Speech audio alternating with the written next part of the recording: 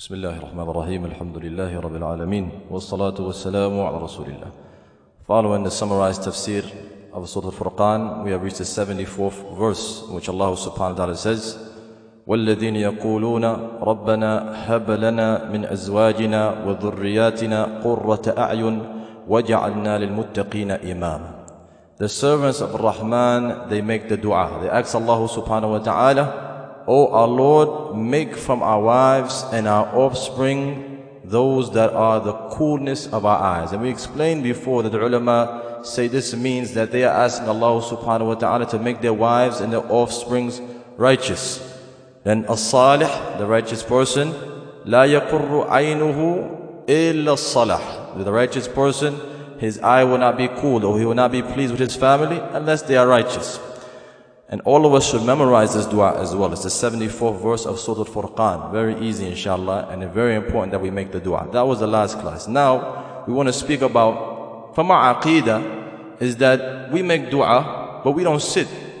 We make dua for rizq, we go out and work. We make dua for ilm, we go out and study. We want to become healthy, we go seek the means to become healthy after the dua. This is the aqidah.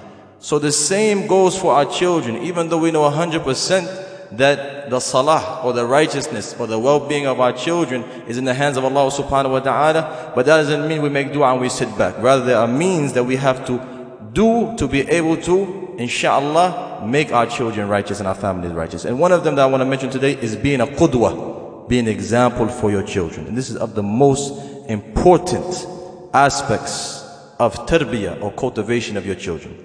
If you are a parent that will command your child with salah, and command them with reading the Quran and command them with good manners and you do the opposite. This as Allah subhanahu wa ta'ala is a person who is not using their mind and they are not having sound reasoning. Allah subhanahu wa ta'ala says in Surah Al-Baqarah أتأمرون الناس بالبر وتنسون أنفسكم وأنتم تتلون الكتاب أفلا تعقلون Do you command the people with goodness? Do you command the people with righteousness and you forget your own selves and you read the book? Allah says, do you have no sense? Do you have no minds? Do you not use reasoning? So this is the same when we command our families to do things and do acts of righteousness and us ourselves we fall short in it. This is what Allah subhanahu wa ta'ala says, أَفَلَا تَعْقِلُونَ Do you have any minds? Do you not use your sense? And this is a saying that is widespread around here in the society. Do what I say and what? Not what I do. Right? They say do what I say and not what I do. هذا في الإسلام غلط. This is this has no no part in Islam. Because our qudwa, our example is Muhammad sallallahu alayhi wasallam. And everything he commanded with and advised with, he was the first one to do it sallallahu alayhi wasallam. He commanded with the salah, he commanded with nawafil prayer, and Aisha radiallahu anha said, كان يصلي من الليل حتى تتفطر قدماه. He will pray in the night until his feet became swollen sallallahu alayhi wasallam. He used to command with siyam and advise with non-obligatory fasting as well. And Aisha radiallahu anha said, كان يصوم حتى نقول لا يفطر he will fast so much sallallahu alayhi wasallam until we will say he will never break his fast he used to command with charity and he used to command with non-obligatory charity as well الزكاة والصدقة and Ibn Abbas رضي الله عنهما said كان رسول الله صلى الله عليه وسلم أجود الناس the messenger of Allah صلى الله عليه وسلم was the most charitable of the people so was the like with us in our families if we command our wives with righteousness, if we command our wives with yani, learning the religion, if we command our wives with good manners and the children, so on and so forth, we have to be the first most in doing so. We have to be the number one example in doing so. They have to see the righteousness for us first. Because there's no one in this whole dunya who knows you better than your wife and your children. Nobody. You could come here, we can come here every day and put a front on for each other. I can show you, I act like I'm righteous, I have my beard, I can make salah, so on and so forth. But in my home, my wife knows who I am, my children know who I am.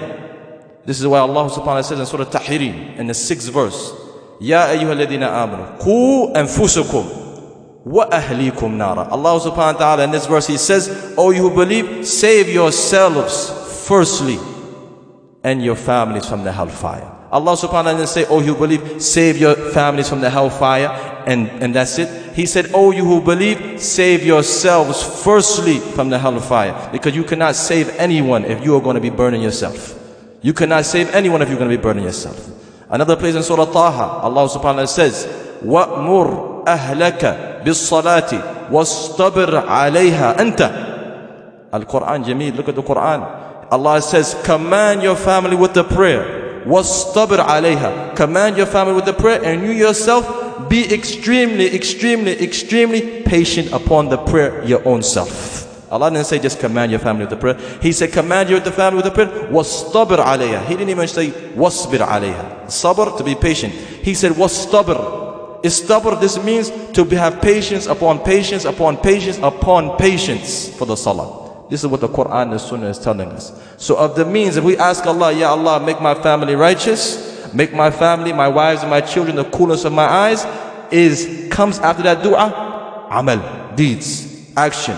And that is for us to be an example and the affair is in the hands of Allah subhanahu wa ta'ala and we ask him for tawfiq Allahumma ameen هذا وصلى الله على نبينا محمد وعلى آله وصحبه أجمعين السلام عليكم ورحمة الله